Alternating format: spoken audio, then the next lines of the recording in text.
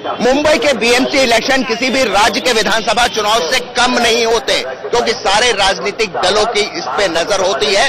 और बीएमसी का बजट इतना होता है कि हिंदुस्तान के कई राज्यों का उतना एनुअल बजट नहीं होता। आप इसी से अंदाज़ा लगा सकते हैं कि बीएमसी के इलेक्शन कितने महत्वपूर्ण हैं। और इस बार इसलिए भी ज़्यादा महत्वपूर्ण है कि इस पे लगातार शिवसेना और बीजेपी का वर्चस्व रहा था, लेकिन पहली दफ़ा शिवसेना बीजेपी अलग अलग लड़ रही है और कांग्रेस एनसीपी भी अलग अलग लड़ रही है। ऐसे में चारों ही प्रमुख राजनीतिक दलों का वर्चस्व इस पर बनाने के लिए अपना दाव चल रहे हैं। और सबसे महत्वपूर्ण इसलिए है क्योंकि शिवसेना जो है, बीजेपी से अलग होकर पहली बार लड़ रही है। और शिवसेना की प्रचार खुद संभाले हुए उद्धव ठाकरे और उनके बेटे आदित्य ठाकरे। और आज हम आदित्य ठाकरे की एक पद यात्रा शो कवर कर रहे हैं और देखेंगे कि वो किस तरह से अपना रोड शो करते हैं, क्योंकि इसके बाद रैली कर रहे हैं। शिवसेना के लिए इसलिए भी बड़ी चुनौती है, क्योंकि बीजेपी के साथ वो राज्य में तो साथ में है, लेकिन बीएमसी में पहली दफ़ा अलग लड़ रही है और 22 फरवरी को होने वाले बीएमसी चुनाव बीजेपी और शिवसेना के भविष्य में किस तरह के ताल्लुकात हो वो किस तरह से अपनी रोड शो करते हैं और रैली करते हैं, क्या प्रमुख मुद्दे हैं?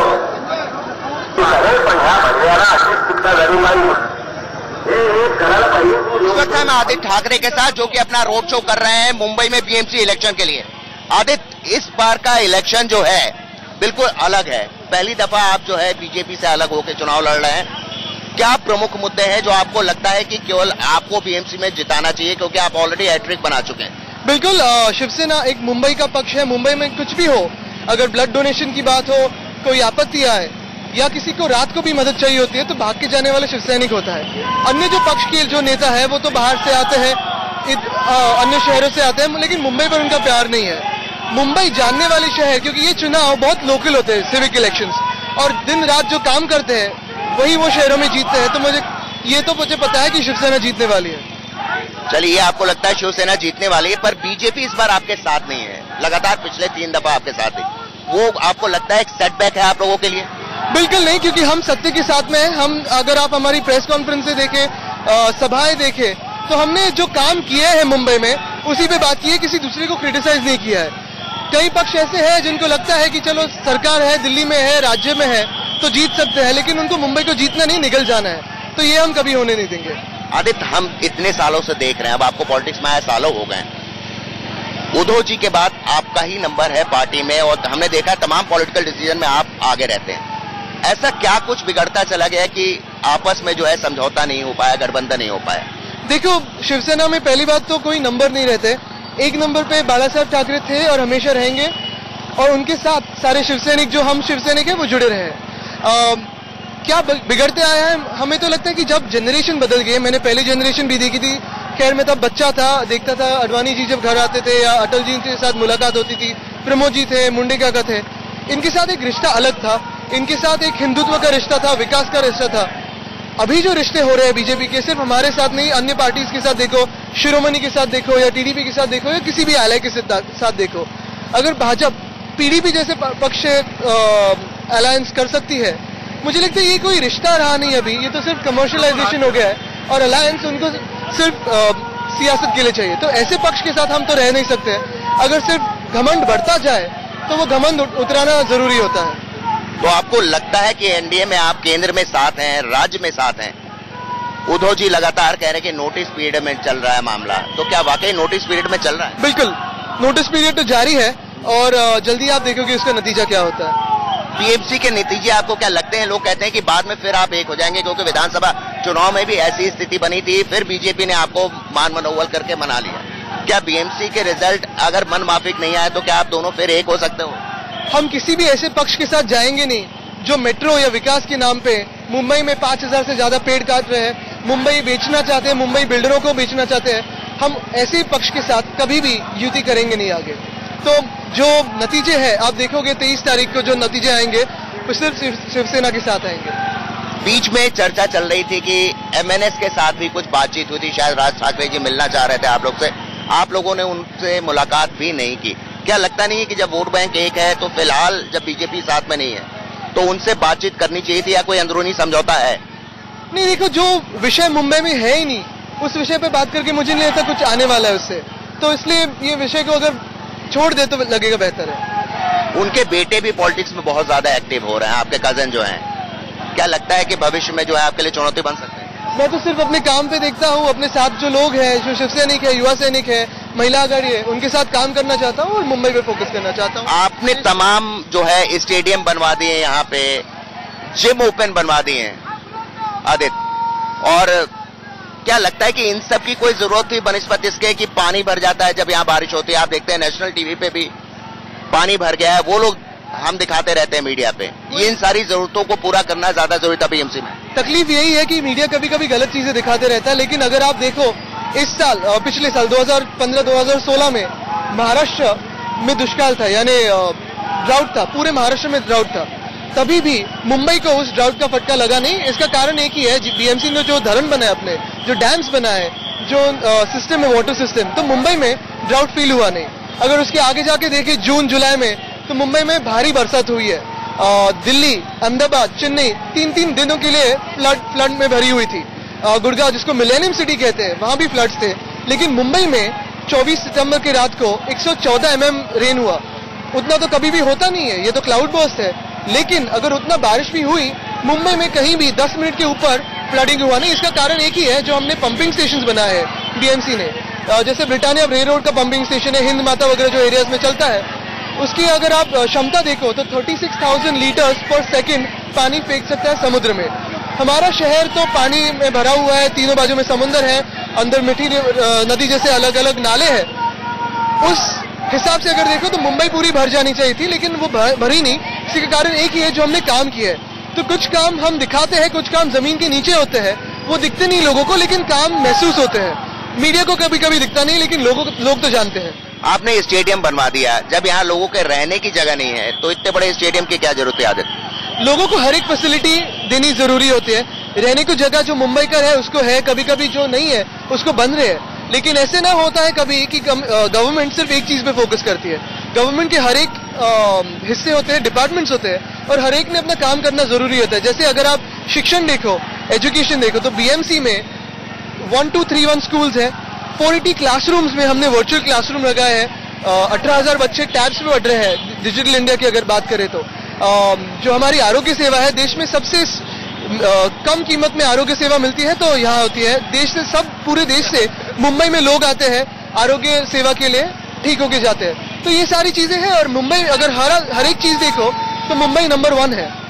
और ये जिम जो आपने ओपन जिम बनवाए तमाम फ़िल्म स्टार्स आए इसकी क्या ज़रूरत थी? क्या आपको लगता है कि जिम बनाने की ज़रूरत थी यहाँ इतने ज़्यादा? तो मुंबई में जिम ना हो ये आपका राय है। नहीं जिम ना हो पर लोग वैसे कसरत कसरत करें पर इतने जिम लोग मीडिया में इस बात की और तमाम विपक्षी दलों ने भी कहा कि आदित्य जिम बनवा रहे हैं नाइट लाइफ की बात यहाँ करते हैं। उसकी अभी क्या ज़रूरत है? तमाम बेसिक बुनियादी जरूरतें एक हैं। चीज़ जो मुंबई में अच्छी है या दुनिया में अच्छी है मुंबई में लाना चाहता हूँ वो ला रहे हैं। तो लाएँगे बिल्कुल विपक्ष का काम है बोलना और वो बोलते जाएँगे। हमें तो खुशी होती है कि वो बोले हमें ट्रैक्शन मिले आप दिखाते रहे लेकिन मुंबई कर को दुनिया में जो सारी चीज़ें अच्छी है उसको लाना ज़रूरी है और वो लाते रहे लाते रहेंगे। नाइट लाइफ की आपने बात की कि मुंबई में भी विदेशों की तरह नाइट लाइफ हो लोग बाहर निकले। तो ये सब विचार किस तरह से आप लेके आते हो? देखो नाइट लाइफ की जो बात हुई थी तब कई लोगों को लगा था नाइट लाइफ यानी पब्स और बार्स ये अ, शायद एक मिसकम्युनिकेशन कैंपेन किसी लोगों ने शुरुआत की थी क्योंकि क्रेडिट बहुत मिल गया था सेना को। लेकिन नाइट लाइफ की बात सिंपल थी। मुंबई एक इंटरनेशनल सिटी है। मुंबई में 24 घंटा जैसे आप प्रेस के लोग हैं या हम लोग हैं या कई अन्य लोग हैं जो 24 घंटा काम करते हैं कभी कभी रात को अगर खाने की चीज़ हो या कहीं कॉफ़ी पीने के लिए जाना हो, कभी चिल करने जाना हो तो जगह नहीं है। क्योंकि अभी जो जगह है सिर्फ़ फाइव स्टार्स में है और सिर्फ़ रईस लोग जाके खा सकते हैं, लेकिन अगर सामान्य मुंबई को जगह चाहिए तो कहीं भी नहीं है। मुंबई का दिन जैसे अन्य शहरों में छह बजे खत्म होता है, मुंबई का दस बजे खत्म होता है रात को। तो अगर परिवार के साथ कहीं जाना हो, कहीं फ़िल्म देखनी जानी हो तो क्यों ना मॉल्स जैसी जगह है, वहाँ सामान्य मुंबई कर जा सकता है, अपनी खरीदी कर सकता है अपने परिवार के साथ या दोस्तों के साथ, जैसे चिल टाइम बोलते हैं। क्यों ना करे? मुंबई करो को सबसे अच्छी चीज़ें अगर देनी हो तो देना ज़रूरी है। आदित्य आप कभी भी हैं और गीत भी लिखते हैं आपका हिंदी का एक एल्बम भी आया। तो इतनी व्यस्त जो है पॉलिटिकल लाइफ में इन सब चीज़ों के लिए समय निकाल पाते हैं? आ, मेरे गीतों का अगर छोड़ के आप सवाल करें तो मुझे आनंद होगा। ये सबसे कठिन प्रश्न है क्योंकि अगर पॉलिटिकल अगर कुछ बात करें तो ठीक है लेकिन गीतों का प्रश्न है तो थोड़ा कठिन हो जाता है। नहीं आपने हिंदी में लिखा आपने उसमें लिखा प्रस्तावना में कि आप वाजपेयी जी से बड़े प्रभावित हैं और मैंने भी उन गीतों को सुना है। तो क्या आप उन सब चीज़ों के लिए समय निकाल पाते हैं? आप जब से एक्टिव पॉलिटिक्स में आए। निकलते हैं कभी कभी क्रिकेट खेलने के लिए गीत लिखने के लिए गाना देखने के लिए सुनने के लिए वक्त तो मिल जाता है। वक्त तो हर चीज़ के लिए होता है। बीएमसी इलेक्शन में अंतिम सवाल मैं पूछूँगा कि क्या कुछ ऐसा जो लोग कह रहे हैं कि फिर से एक बार समझौता होगा और बीजेपी और शिवसेना एक होंगे। क्या आप मानते हैं कि ऐसा कुछ होगा अगर वो आपकी बातों को समझेंगे? क्योंकि समझौता अगर नहीं हो पाया तो ज़ाहिर सी बात है दोनों पक्ष में कोई बात नहीं जम पा रही थी। अगर ज़रूरत पड़ी तो क्या आप लोगों के साथ जा सकते हैं? मुंबई ये समझौता का शहर नहीं रहा है कभी भी। मुंबई शिवसेना के साथ रहा है क्योंकि मुंबई को कभी भी जो भी लगता है हमारा शिवसैनिक भाग के जाता है। शिवसैनिक ये मुंबई का है। और इसीलिए मुंबई में अगर आप तेईस तारीख को आओगे तो सारे जहाँ सिर्फ़ भगवा दिखेगा आपको। नहीं भगवा रंग आपके पुराने मित्र का भी था इसलिए मैं बिल्कुल लेकिन जो भगवा है उसमें कोई दूसरा रंग नहीं है सिर्फ़ भगवा है और ये मुंबई का रोका भगवा है। अच्छा ये जो पाँचों प्रदेश में चुनाव हो रहे हैं आप खुद पॉलिटिक्स में इतने इन्वॉल्व हैं आपको क्या लगता है किस तरह के नतीजे आ सकते हो? इन नतीजों का क्या असर होगा केंद्र की राजनीति में और महाराष्ट्र की राजनीति में? जैसे आप मीडिया में कहते हैं कि इन नतीजों का आने वाले वक्त ही बताने वाले हैं लेकिन मैं ये कहना चाहता हूँ कि गोवा में, उत्तर प्रदेश में, पंजाब में शिवसेना लड़ रही है। भारी मतों से उनको, हमारे जो उम्मीदवार है, उनको मत आएँगे। और एक परिवर्तन जो है देश में, अलग लहर, जो रीजनल पार्टीज़ का फ्रंट है, वो आने वाला है आगे। तो ये तो मैं इतना तो कह सकता हूँ, क्योंकि अभी वो राजनीति का समय गया जब लोग कुछ भी आके फेंक सकते थे नेता, और लोग उस पर भरोसा करते। अभी उल्लू बनाओ ही नहीं चलेगा। तो माना जाए कि आदित्य का विजन इतना बड़ा है, जो अभी तक बाला साहब जो है महाराष्ट्र से बाहर नहीं निकले आदित्य ने जो है उत्तर प्रदेश में बिहार में हर जगह अपने उम्मीदवार खड़े किए हैं गोवा में भी। गोवा में आप काफ़ी खासे एक्टिव नज़र आए। तो आप उम्मीद कर रहे हैं कि अब आप महाराष्ट्र से बाहर भी निकलेंगे और नेशनल पॉलिटिक्स में भी उतनी ज़ोर शोर से आएँगे? बिल्कुल अ, मुझे लगता है शिवसेना एक ही रीजनल पार्टी अभी है बाला साहब के विजन के हिसाब से जो जिनका आवाज़ पूरे देश में इम्पैक्ट करता है कश्मीर से लेकर कन्याकुमारी। तो क्यों ना हम बाहर अपने उम्मीदवार खड़े करें? और जहाँ अगर शिवसेना को फॉलोइंग है तो उन लोगों को न्याय तो देना चाहिए क्योंकि अगर ऐसे हुआ है अभी तक कि हम कभी भी बाहर उम्मीदवार नहीं दे पाए अभी मिल रहे हैं आगे आ रहे हैं लोग तो क्यों ना लड़े?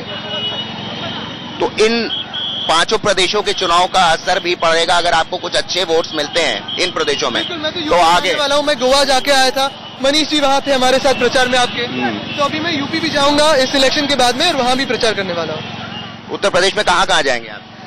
देखिए, अभी अभी जैसे नेक्स्ट फ़ेज़ है, उस, अभी इस फ़ेज़ में तो अगले फ़ेज़ में बदायूं में हमारे उम्मीदवार है, मुरादाबाद में काफ़ी इंपॉर्टेंट है, लेकिन आगे के फ़ेज़ में भी काफ़ी उम्मीदवार है तो वहाँ भी जाऊँगा। चलिए बहुत बहुत शुक्रिया। आदित्य, आपने हमें इतना समय दिया, आप अपने प्रचार में हैं। तो आदित्य के साथ हम पूरे दिन रहे, हमने देखा कि शिवसेना का बीएमसी के लिए जी जान लगाकर प्रचार चल रहा है। और उन्हें पूरी उम्मीद है कि तेईस तारीख को जो नतीजे आएँगे, वो पूरी तरह से शिवसेना के पक्ष में होंगे।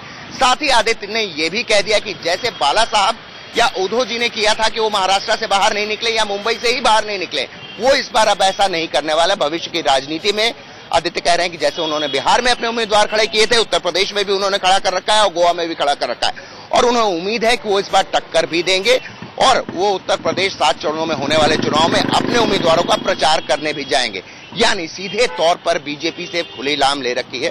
शिवसेना ने लेकिन काफ़ी हद तक चीज़ें इस बात पर निर्भर करेंगी कि बीएमसी के इलेक्शन में नतीजे क्या आते हैं। कहीं ऐसा ना हो कि विधानसभा चुनाव में भी अलग अलग लड़े थे और अंत में फिर साथ में आकर सरकार में शामिल होना पड़ा। कहीं बीएमसी में भी ऐसा ही ना हो। कैमरामैन प्रदीप सिंह के साथ प्रकाश पांडे, इंडिया न्यूज़, मुंबई।